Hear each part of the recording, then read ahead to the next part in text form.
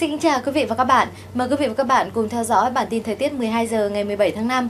Thưa quý vị, sau một ngày giảm nhiệt thì ngày hôm nay vùng thấp nóng phát triển.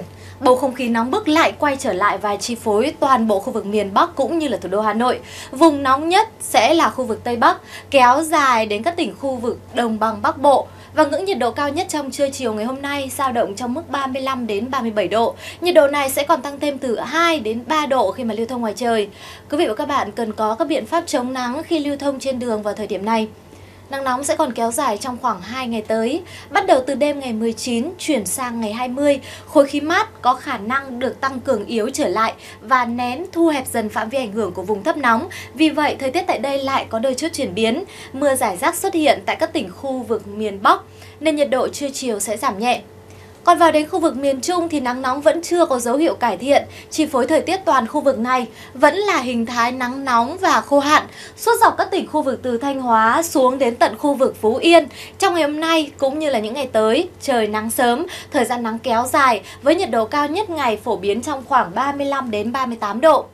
Nắng nóng đã kéo dài nhiều ngày và dự báo còn tiếp tục kéo dài trong nhiều ngày tới, chắc chắn sẽ gây nhiều khó khăn cho cuộc sống sinh hoạt của người dân. Do vậy, bà con ven biển miền Trung nên chủ động ứng phó và có các kế hoạch sử dụng tiết kiệm nguồn điện, nguồn nước khi mà tình hình mưa và giảm nhiệt độ chưa có dấu hiệu xuất hiện.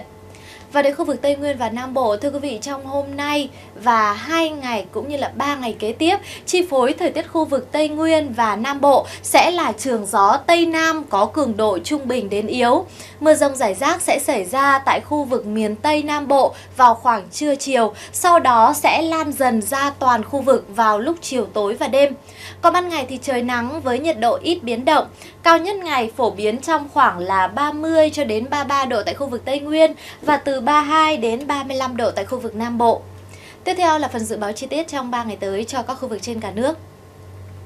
Tại khu vực phía Tây Bắc Bộ, trong 3 ngày tới, mây thay đổi, ngày nắng nóng, chiều tối có mưa rào và rông ở một vài nơi với nhiệt độ cao nhất từ 35 đến 37 độ. Tại các tỉnh khu vực phía đông Bắc Bộ trong hai ngày 18 và ngày 19, tại khu vực Trung Du và Đồng Bằng, vào ban ngày nắng nóng, chiều tối sẽ có mưa rào và rông ở một vài nơi với nhiệt độ cao nhất là từ 35 đến 37 độ. Sang đến ngày 20, mây thay đổi đến nhiều mây, có mưa rào và rông ở một vài nơi, nhiệt độ trưa chiều giảm nhẹ, dao động trong khoảng là 33 đến 35 độ. Còn đối với các tỉnh khu vực từ Thanh Hóa đến Thừa Thiên Huế, trong 3 ngày tới, mây thay đổi, đêm không mưa, ngày nắng nóng, chiều tối có mưa rào và rông ở một vài nơi với lượng không đáng kể. Nhiệt độ cao nhất phổ biến trong khoảng 36 đến 38 độ. Còn tại khu vực từ Đà Nẵng đến Bình Thuận, từ ngày 18 đến ngày 20, đêm không mưa, ngày nắng nóng. Riêng ở vùng ven biển phía Nam thì nền nhiệt độ ở dưới ngưỡng nắng nóng, nhiệt độ cao nhất phổ biến từ 34 đến 37 độ. Trở vào Tây Nguyên, trong những ngày tới tại khu vực Tây Nguyên có mây thay đổi, ngày nắng, chiều tối có mưa rào rải rác và có nơi có rông. Nhiệt độ trưa chiều phổ biến từ 31 đến 33 độ.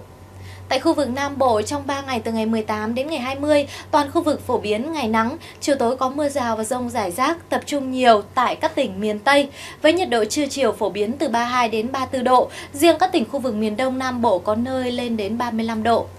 Còn tại thủ đô Hà Nội trong hai ngày tới, tại khu vực Trung Du và Đồng Bằng, ngày nắng nóng, chiều tối sẽ có mưa rào và rông ở một vài nơi với nhiệt độ cao nhất từ 35 đến 37 độ. Sang đến ngày 20 sẽ có mưa rào và rông ở một vài nơi, nhiệt độ trưa chiều giảm nhẹ, giao động từ 33 đến 35 độ. Trên biển trong 3 ngày tới thì trên hầu khắp các vùng biển Bắc và giữa của Biển Đông, bao gồm cả vùng biển của quần đảo Hoàng Sa, thời tiết ổn định, trời phổ biến không mưa, ngày nắng giáo với tầm nhìn xa tốt trên 10 km, gió hoạt động với hướng Nam cường độ trung bình, thời tiết thuận lợi cho hoạt động đánh bắt thủy hải sản của bà con ngư dân. Còn tại khu vực phía nam của Biển Đông bao gồm cả vùng biển của quần đảo Trường Sa, tại đây thịnh hành hướng gió Tây Nam với cường độ mạnh cấp 4. Phía Nam vào lúc chiều tối và đêm có thể sẽ có mưa rào và rông rải rác. Các tàu thuyền cần đề phòng có lốc xoáy và gió giật mạnh trong cơn rông. Bản tin dự báo thời tiết cho 3 ngày của chúng tôi xin được khép lại tại đây. Cảm ơn sự quan tâm theo dõi của quý vị và các bạn. Xin kính chào và hẹn gặp lại quý vị trong các bản tin thời tiết tiếp theo.